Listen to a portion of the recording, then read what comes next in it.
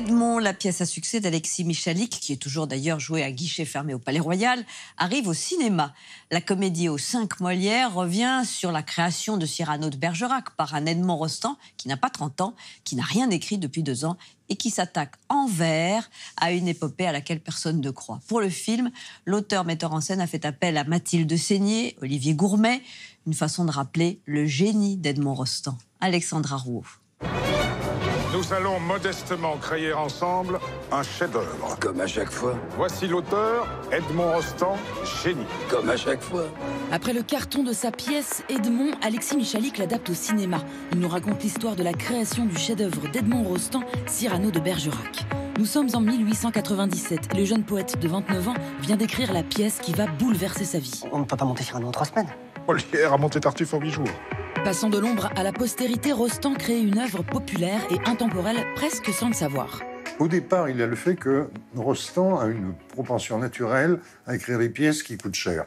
Voilà, il lui faut tout de suite 40 figurants, 5 décors, etc. Et il trouve des acteurs qui ont les moyens. Sarah Bernard, autant que Constant Coquelin. Et c'est Coquelin qui lui dit Vous m'écrivez ça, allez-y, faites-le. Et Rostand se lance dans Cyrano. Il l'écrit d'ailleurs assez vite, mais dans une souffrance extrême. Il n'est jamais content de lui. Il déchire tout, il recommence. Enfin, c'est atroce. Et surtout, il n'y croit pas. Ce personnage avec son grand nez, Rostand est persuadé que ça va être une catastrophe. C'est. euh, Tu es. euh, C'est ridicule, n'est-ce pas? Mon Dieu, Maria, ce sera un four. Aucune pièce n'a eu euh, ce, destin incroyable en une nuit de faire, euh, rentrer euh, ce jeune auteur au Panthéon, alors que euh, 24 heures avant, c'était un, un jeune ringard qui écrivait des vers mais qui faisait que des bides, et que bah, trois jours plus tard, il était décoré de la Légion d'honneur, et trois ans plus tard, il était à l'Académie française. Enfin voilà, c'est un destin absolument dingue ce qui se passe ce soir-là. C'est Johnny Hallyday euh, multiplié par Jean d'Ormesson. Enfin, peut-être quelque chose comme ça, si vous voulez. C'est le grand poète de la France. C'est lui qui va dire au monde ce qui reste d'esprit français et de grandeur française. Edmond Rostand n'a jusqu'ici jamais brillé par son talent. C'est un auteur qui manie le vers de façon assez ampoulée. Mais dans Cyrano, son style s'envole. Il fait preuve de virtuosité avec lyrisme et truculence. Par exemple, tenez. euh, par exemple, tenez. Agressif. Moi, monsieur, si j'avais un tel nez, il faudrait sur le champ que je me l'amputasse. Pétasse. La grosse différence entre Cyrano et les pièces d'avant, c'est l'humour. En fait, il arrive à faire coïncider à la fois son talent de poète avec ses alexandrins, mais avec un humour percutant.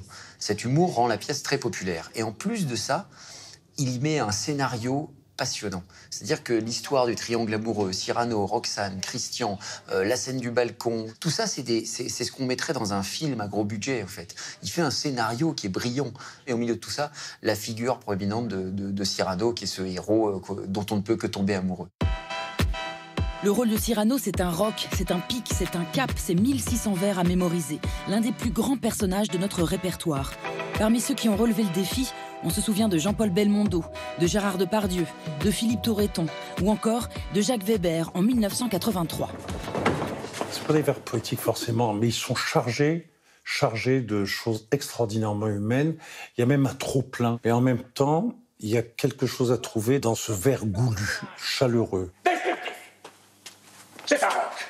C'est un pic. C'est un cap. Que dis-je C'est un cap. C'est une péninsule. J'ai souvenir qu'il fallait une énergie physique considérable.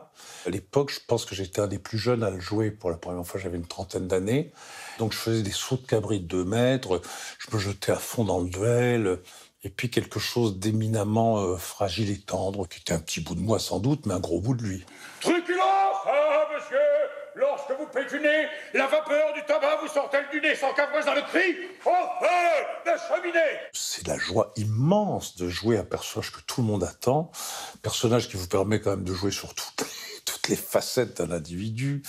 Il est guerrier, il est amoureux, il est triste, il est joyeux, il est, il est, enfin bon, il, y a- il est provocateur, il est libre, il est libre.